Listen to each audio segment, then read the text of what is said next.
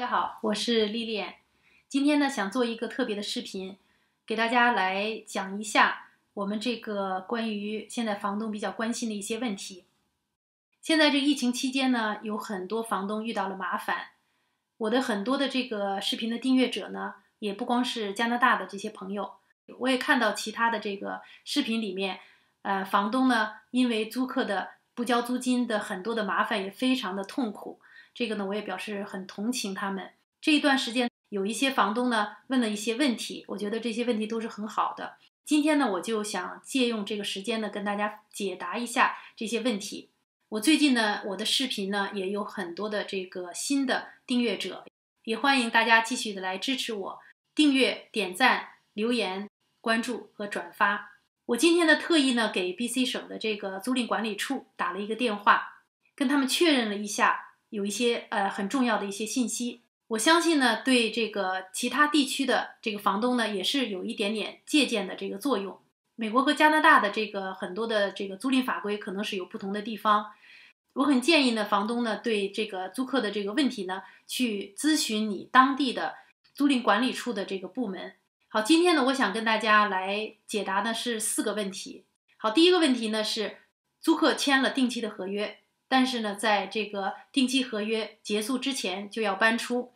这个呢，在租赁法规是怎么样规定的？今天跟我在电话中的这一位工作人员，他呢讲是这一点呢，在这个疫情之后并没有做这个改动，也就是说，当租客签了这个定期合约的时候，他要遵守这个呃合约的这个规定，如果是没有住满而搬出的话。房东在找租客之中，如果是有空房、有其他的损失的话，也是要这个租客来承担的。当租客有这个违约行为的时候，我们可以给租赁管理处，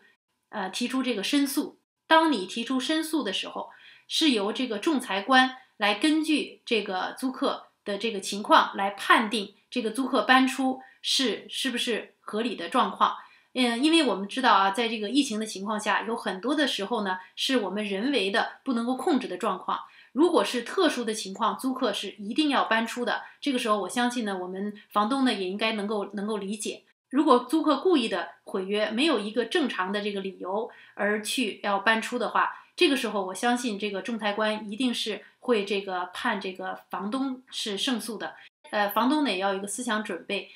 当我们走法律程序。判决房东胜诉的时候，这个钱也是不一定能够拿回来的。所以这个呢，大家有思想准备。因为这个租赁管理处呢，它只是一个裁决的一个机构，但是它并没有这个呃执行的这个权利。当我们要讨回这个租客欠我们的这个租金，或者是讨回这个损失的时候，我们还是要去其他的地方来受理，比如说小额法庭。我自己的建议呢是，当租客提出要搬出的时候，我们要问清楚租客为什么搬出的原因，然后呢让他写一个书面的一个要求。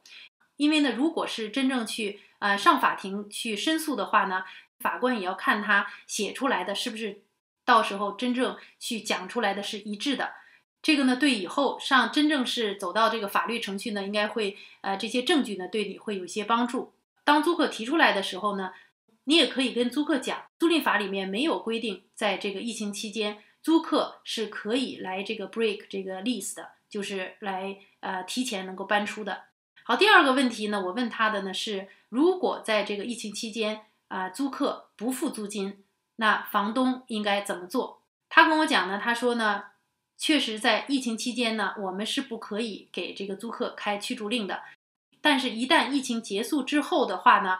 房东是可以给这个租客，因为他没有交租金而开驱逐令。好，另外呢，这个问题呢是有一些房东呢提出来呢，租客要求降低这个租金，但是房东不同意。这个情况，呃，在法律上有没有一个特别的一个规定？他说呢，在这个法律条文上没有这样的规定。也就是说，如果呢确实有困难的这个租客，房东如果是愿意接受。呃，租客的这个要求，那大家可以签约，能够在这一段时间降低他一些租金。但是呢，如果房东不同意去降低租金的话呢，那租客没有权利少交那部分租金。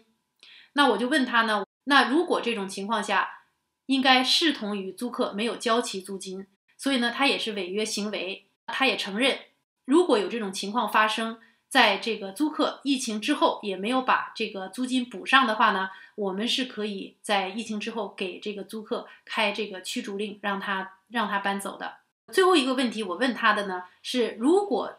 在这个疫情期间，因为我们没有办法做定期的查房，租客在里面有一些呃破坏这个房子啊，或者有一些呃危险的一些行为，那我们这种情况下能不能让租客？把租客赶走，在这个疫情期间，只有这个 emergency 的这个状况，我们可以发这个驱逐令。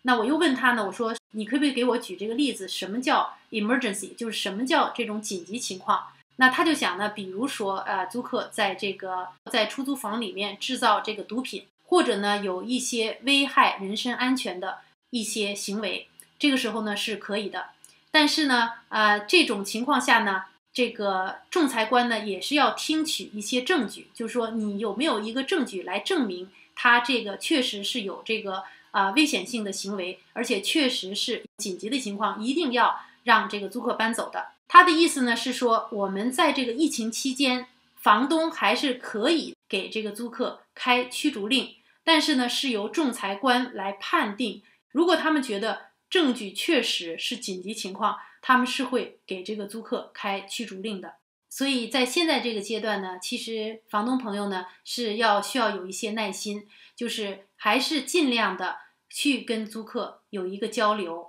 啊，尽量呢我们把这个租金都能够收回来。一旦租金如果是有可能收不回来的情况下呢，也要跟租客讲清楚。现在疫情期间，虽然我们不可以把这个租客赶出去，但是。租客也是要有这个义务交租金的，并且呢，房东呢也没有这个义务一定要降低这个租客的这个租金。如果你觉得我的视频对你有一些帮助，请你帮我点赞。这个星期六呢，我会给大家请一个特别特别的嘉宾，现在呢还不想跟大家透露，也请大家继续关注这个视频。好，我们下次见。